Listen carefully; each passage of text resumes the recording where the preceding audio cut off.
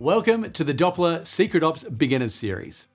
I'm Ryan, and by the end of this video, you'll know what Secret Ops is, how to manage secrets for an application using Doppler's dashboard, and fully integrate Doppler into your local development environment. Doppler's Secret Ops platform is your new centralized dashboard for keeping secrets in sync across local development, CI CD, and production. Secret Ops is a set of tools to manage, govern, and orchestrate application secrets at any scale, from a single developer to a large corporation. Gone are the days of manually copying pasting secrets, outages from missing secrets, and the chance of an accidental leak or breach. Just as GitOps, DevOps, and developer platforms have transformed how we ship software, Doppler and SecretOps are modernizing how teams manage secrets through new collaboration and automation workflows. Doppler is fast, fun, and you'll never look back once you see how easy it is to use. Now let's get you started on your Secret Ops journey by setting up your Doppler workplace. Head to dashboard.doppler.com and create your account. I'll use GitHub to demonstrate, but Google Auth and email and password are also available. Once authenticated, you'll create the initial workplace for your account, which is typically the name of your business or team. Select how you'll use Doppler and the secret managers or deployment platforms you currently use, then click Next to create your workplace.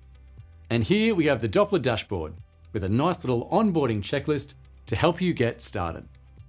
A workplace is an isolated container around projects where secrets are stored, team members, and billing. Now, a single workplace is sufficient for most businesses, but multiple workplaces can be used to provide isolation between customers if you are a consulting agency. You can also create your own workplace for storing secrets used in personal projects and for experimenting with Doppler features. Let's begin working through the onboarding checklist, starting with creating a project. Projects provide structured storage for application secrets and config in every environment, including local development. Let's head to the project page and create a new project. When it comes to naming your project, the service-app convention, e.g. auth-frontend, auth-backend, works well when a service is composed of multiple applications, or just the app or repository name is fine as well.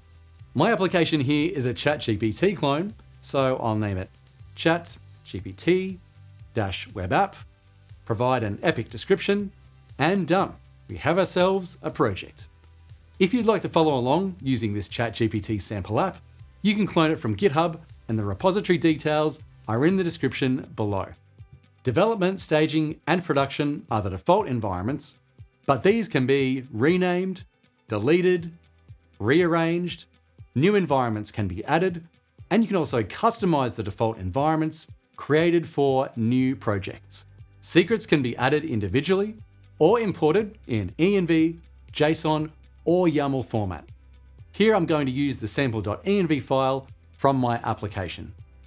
Newly added secrets have their visibility set to masked, which requires clicking into the field to view, but I'm going to change the config values to unmasked so it's easy to see secrets from config.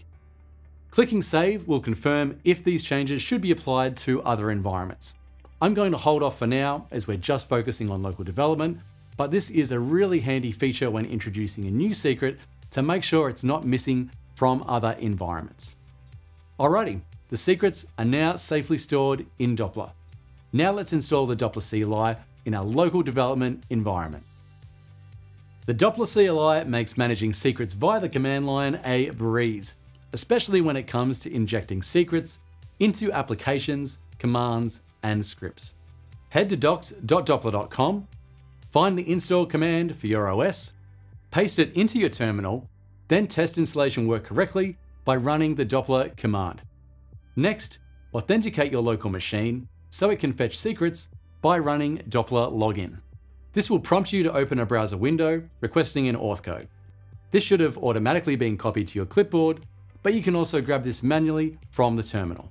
Select your workplace, confirm the token name, which you can leave as is, as it's just your machine name.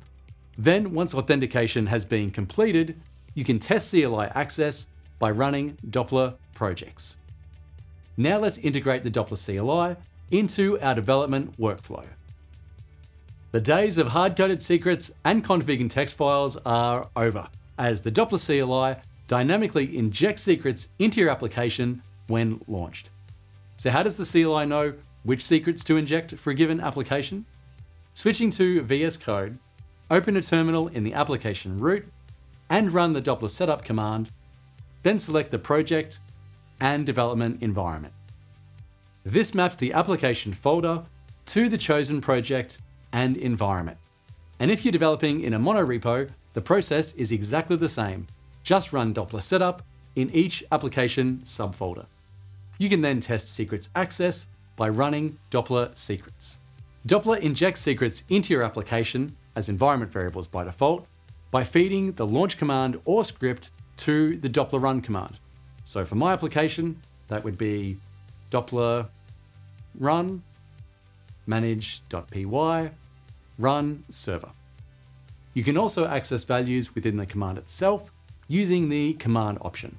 So here's a variation where I'm using the value stored in Doppler for host and port. Now I'll quickly check my application is working as I expect. All right, looking good. So the Doppler CLI is super simple to use and it ensures your team always has the latest version of secrets during local development. Now let's take a look at the secret update flow by heading back to the dashboard and I'm going to update the model value. Heading back to VS Code, we rerun our application, and there we can see that the model value has been updated. Now, while environment variables are the most common method for secret injection, secrets can also be mounted as an ephemeral file that is automatically cleaned up when the process exits. For example, Laravel requires an env file during local development.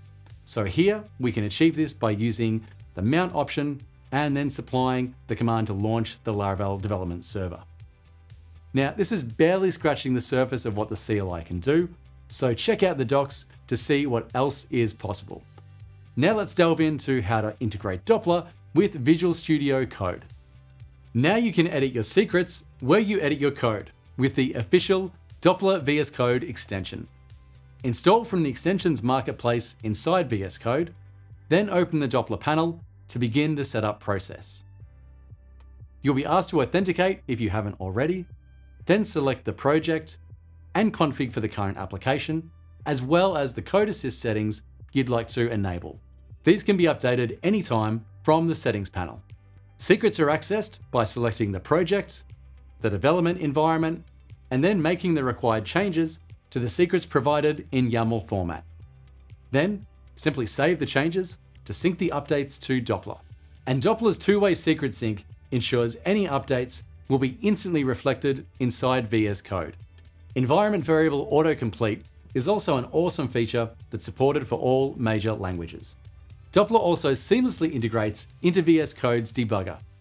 Using Python as an example, only a single environment variable is needed as our Doppler env Python package automatically injects secrets when your app is launched by the debugger.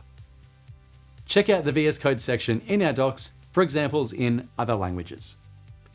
Doppler provides a super easy flow for editing secrets and debugging apps in VS Code and without the need for hard-coded environment variables or env files.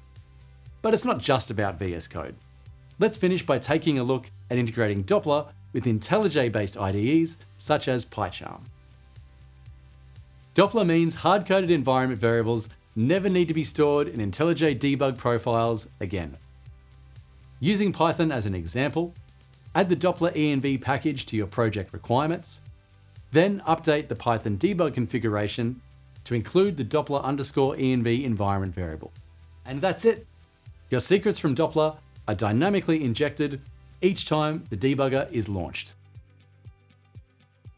You've now got a solid introduction to SecretOps through creating your first project, importing your secrets, and fully integrating Doppler into your local development environment. Join me in part two, where we cover Doppler's collaborative features so your teammates can join in on the Secret Ops action.